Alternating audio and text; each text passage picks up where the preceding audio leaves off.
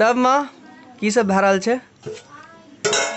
हाँ हाँ सब्ज़ी बन रहा है ऑल राइट गाइज़ हम लोग आ गए हैं अपने गाँव, और न जाने पूरे एक साल के बाद गाँव आए हैं।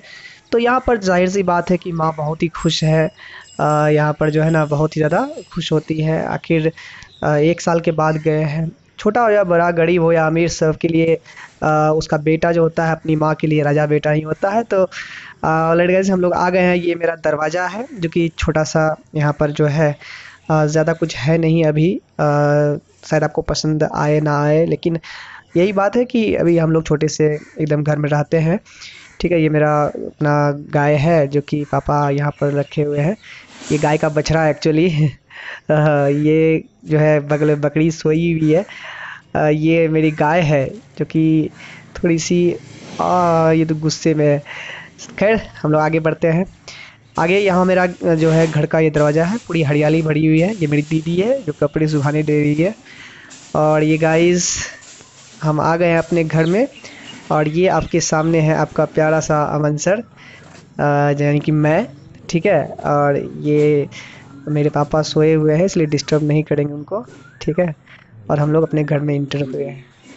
तो गाइज़ ये मेरा छोटा सा बेडरूम है, जिसमें कि कुछ ज़्यादा कुछ है नहीं। यहाँ पर मेरी भांजी टीवी देख रही है दीदी की बेटी है, बड़ी बेटी। बोलो बाबू हाय बोलो तो। बोल दिया है।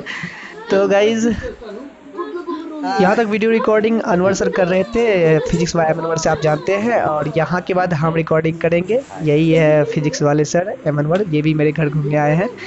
तो यहाँ पर जो है ज़्यादा कुछ है नहीं फ्रिज है एक ठो और एक टेलीविज़न है जो कि हम खरीद थे अपने कोचिंग की कमाई से। है देखिए। पापा बहुत खुश हुए थे जब हम खरीद बोल दो ये छोटी बांजी है थोड़ी शर्मा रही है दीदी की छोटी बेटी है। दिव्यांशी है। हाय बोल दो। शर्मा रही बोलो। हाय बाबू बोलो बोलो बोलो बोलो हाय बोल दो यार बोल भी दो। हाय बोल दी। ये बोल दी ये मेरी वाह। जीजाजी है ये दी? दीदी है गाइस और छोटी दीदी है दो बहन मेरी है जिसमें कि छोटी है और माँ पीछे में थी लेकिन इंट्रोड्यूस माँ को बाद में करवाएँगे आपको। ये मेरा दूसरा वाला घर है। तो दूसरे वाले घर में खासियत ये है मतलब गाँव में होता क्या है कि गाँव में ना जनरली मतलब एक सिंगल रूम का ही एक घर होता है छप्पर वगैरह का जो घर होता है ना वो सिंगल रूम का ही होता है। हाय हेलो हाय कैसे हैं आप हाय कैसे हैं आप?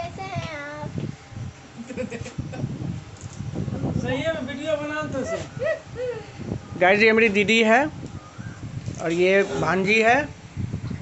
ये जूनियर भांजी है। ये जीजाजी है। और ये मेरा प्यारा सा घर है।